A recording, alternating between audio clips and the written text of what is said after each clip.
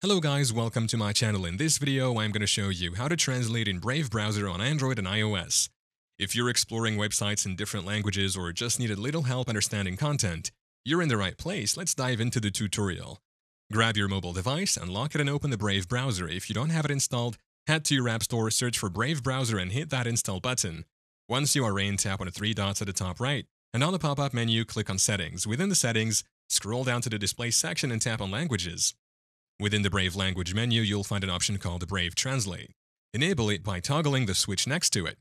Once Brave Translate is enabled, you can choose to relaunch now for the changes to take effect.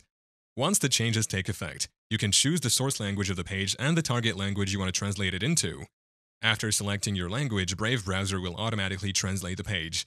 Now you can enjoy the content in your preferred language.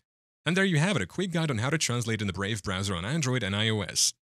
Thank you for watching. If this video was helpful, please leave a like and subscribe to my channel for more videos like this. And click on that notification bell to never miss an update.